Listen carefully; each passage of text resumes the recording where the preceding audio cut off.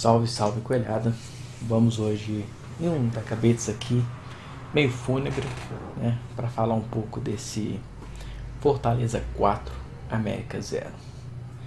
Bem, é, o jogo de hoje era um jogo difícil, acho que todos sabíamos. Fortaleza em uma fase muito boa, com Voivoda, né, como treinador, e estava brigando lá em cima, né, pelo Campeonato Brasileiro, tá, pelas primeiras posições embora o campeonato dele seja ali buscar uma vaga sul-americana, Libertadores, não exatamente para título, mas eles hoje estão né, com essa briga um pouco mais acima do que a gente, até pelos anos já de permanência na Série A. Só que pelas partidas né, que a gente fez contra Santos, Inter e contra o Bahia, sendo que Bahia e Santos também brigam lá em cima, dava aquela esperança de que a gente ia conseguir é, anular um pouco o as ações ofensivas do time adversário e conseguir puxar o contra-ataque. Um pouco diferente da toada desses dois últimos jogos, né? É, a gente foi um pouco mais covarde, a gente não conseguiu ter tantas ações assim na transição. A transição estava bem lenta, na verdade, a gente começou o jogo com as mesmas opções, né? De sempre. Fomos com é, escalação que vinha dos últimos jogos, com o Rodolfo, Toscano, Felipe Azevedo, né? Aquela é, lentidão habitual. E dessa vez não funcionou. Dessa vez eles foram bastante lentos, eles foram bastante é, arrastados ali na transição. E Rodolfo e Toscano também não conseguiram ajudar o Eduardo na recomposição. O Azevedo hoje na recomposição ali pela esquerda também foi basicamente nulo. Né? E aí primeiro tempo foi arrastado, o Fortaleza até não tinha tantas chances, né? O jogo foi bem truncado ali.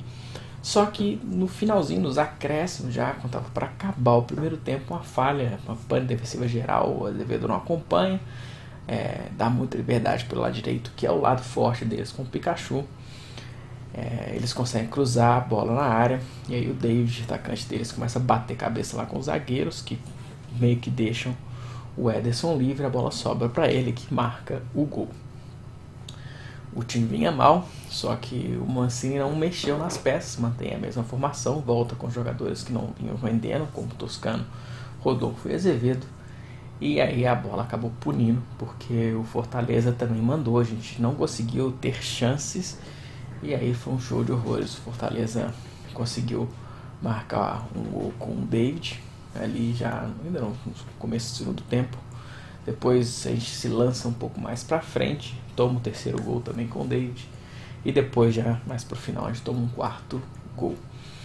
É, as substituições até meio que surtiram efeito em termos de ter ímpeto ofensivo, mas a zaga hoje foi muito mal. Anderson e Bauerman jogaram abaixo da crítica, falharam basicamente todos os gols. É, o quarto gol, por exemplo, o Anderson abandona o jogador que cabeceia livre para marcar. É, no gol anterior, né, o gol do. É, que, que foi encostando num chute que veio cruzando a área inteira, né, o Anderson não consegue cortar a bola, passa embaixo da perna dele. E aí o Eduardo também não acompanha, o David que vinha fechando e acabou marcando o gol sem dificuldade nenhuma. Então foram, foram lances assim, bizarros. A zaga hoje foi, foi um desastre total. O que é, salienta né, um pouco da discussão que a gente teve no programa de domingo, né? De que faltam peças. O Mancini até conseguiu fazer boas partidas com essas peças ruins, mas a nossa zaga, ao que é muito fraca. E hoje foi uma partida que deu para ver que não dá para confiar nesses zagueiros que a gente tem, né? E a gente pagou um preço muito alto com uma goleada e é a pior partida nossa é, jogando sob o comando do Wagner Mancini, né?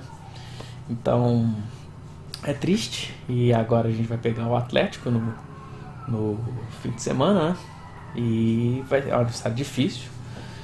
E vamos ter que superar, né? E vamos ver se a zaga se porta um pouco melhor nesse clássico e o Mancini consiga também é, um outro resultado surpresa, né? A gente tem que juntar os cacos e já preparar, porque logo sábado nós temos esse jogo importante contra uma outra equipe difícil e acumular duas derrotas, bem provável que jogue a gente para a zona de rebaixamento, o que não é, é o ideal.